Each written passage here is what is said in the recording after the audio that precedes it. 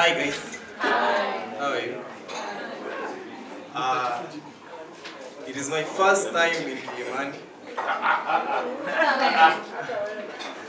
and I've realized that almost every person in Kilimani has an iPhone. Like kila almost everyone. And I want to make it clear, actually, in the beginning, I really did not like people who own iPhones. Because people who have iPhones, you realize that most of them don't put phone protectors at the back. Reason being, they want you to see the logo. Now, now with time, with time, I stopped judging them. Do you know why? Because I came to realize that everything feels without everything feels good without protection.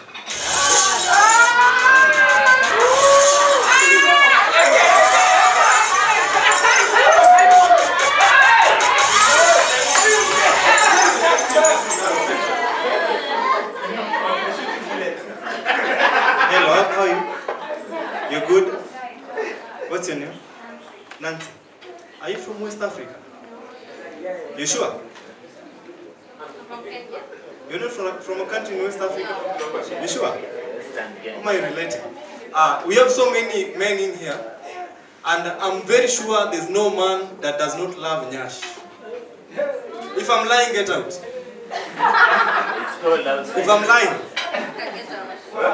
Now, since everybody in Kenya is, is earning or making it from everything, I saw this as an opportunity. Because I watched a guy in uh, YouTube, this guy was saying that it is time, because every man looks at a woman's nyash. Like every man, dem akipita you must confirm. Except me. Because they're not straight.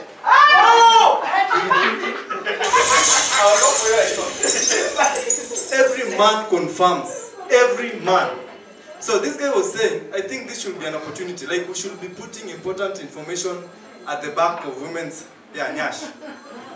Yeah, things like uh, pictures of missing children, advertisements, because everyone will see them. Everyone will see. Them. And I was thinking, Vera Sidika is actually going to make it. Because I'm sure she's going to get lucrative advertisements. Imagine Vera Sidika doing an advert for a bank, like KCB. Now, the problem I have with this advert is that people will misunderstand it. Imagine an advert at, uh, uh, of KCB uh, posted at Vera Sidika's Nyash. Imagine the details. Come and deposit.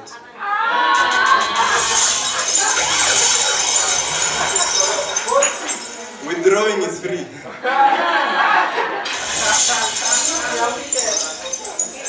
Uh, how many of you are supporting Eric Omondi? You know what happened? You're supporting Eric Omondi? Uh, actually, from my side, I think she's okay. He, I mean, sorry. I think from my side, I think he's okay. Like what he was advocating for is right. And uh, but that's not my main agenda. What I, I really want to support uh, uh, recommend you on is about musicians. So many people uh, don't agree with him, but the guy is right. Kenyan musicians don't carry themselves as musicians. I'll tell you why. Have you ever realized that Kenyan musicians are too available? Too available. Like they are everywhere.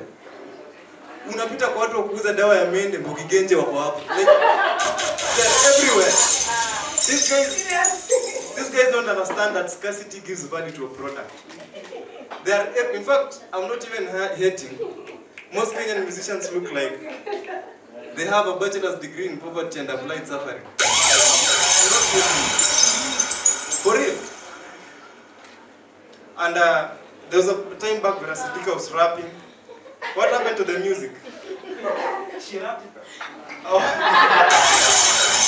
That's a good one. Give that man uh, something on my name. That's a good one. Uh, uh, people think uh, the names that you're given really uh, articulate or portray your character. That's why parents give children names with uh, Bible names, like with Bible meanings. People called uh, Jesus. People called Jesus right now, isn't? People are called Jesus. People, no. Let me tell you. The name you're called does not portray your character. Like if you're called, if you're called Moses, does not mean you love bana jana Abraham alinipiga ngeta. Abraham.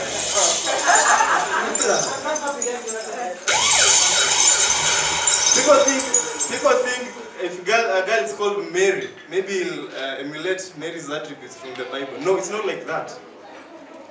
If a girl is called Mercy, he'll have, she'll have mercy. It's not like that. They're not in fact merciful. They are not. From experience, from experience, nishainyimwa na demo anaitwa Charity. Not for everyone. That's not for everyone. Uh, there are so many inventions in the world, and every invention has something behind it. Like I'm told, the person who invented KCC actually was uh, motivated by a donkey. I'm not sure which part. Those who know, know. Now, there are companies in China that actually are coming up with very funny things. There's a company in China that is actually piping alcohol. Like unapaipiwa alcohol kama ma- maji. You pay it. Like you can imagine someone coming to your house bana asking you a question like, bro, umelipia konyaki? There's a company called Imalex. This company wants to make a, a shoe from uh, bread, actually from breadcrumbs. Like they don't want it to go to waste. So I'm trying to imagine, how do you wear a shoe made out of bread? Bro, that's a threat. That one cannot work in Kenya. Imagine unatembea town uko na kiatu imeungwa na mkate. Do you know a person just mtu uko na deni yako just need to sell to, say three words. Bro, nilipe deni yangu hapa ninunue chai. How do we even talk about you? Like right now we are talking bro, this one this one is Jordan. I can see you have Air Force. How will we be talking about the brands? Ati bro umevaa kiatu gani? Hii ni super loaf. Yangu ni super. How do we even talk about the shoe polish? Like this one is you apply kiwi, right? Now, a shoe made out of bread. How do we talk about it? Blue band. Hii yangu nimepaka peanut. How, how?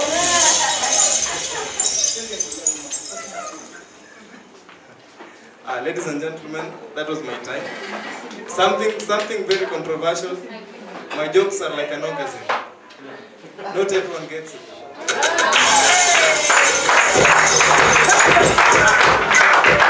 All right, please.